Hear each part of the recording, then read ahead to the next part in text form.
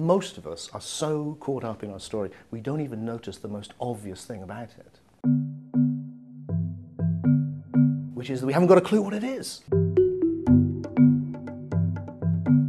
There is no such thing as non-duality. I can't give you a definition of it because there's nothing to define. There is only one reality. The universe is not dual. It is something which transcends duality.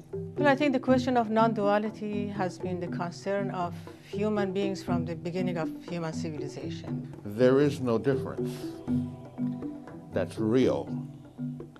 There is a difference that's relative.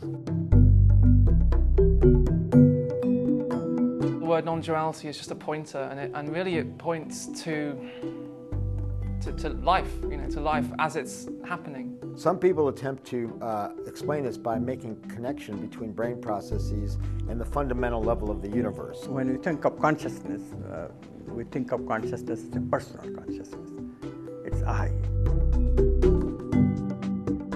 What is the I? That's a very good question. What is the I? What is myself? Oh, it's made up. It's the ego.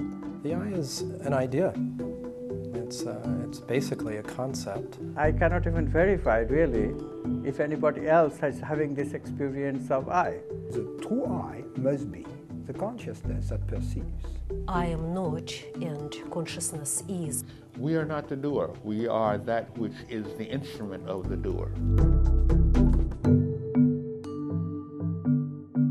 I don't believe we have free will in the normal sense of free will, which is choosing what to do. If we look at it, we've just got like a moment by moment experience. We can't even say where this is coming from or where this is going. There's a hundred billion galaxies, each one full of a hundred billion stars. And if you live to be 80, you have 4,000 weeks to understand that. Anyone who thinks they know what this is is out of their mind.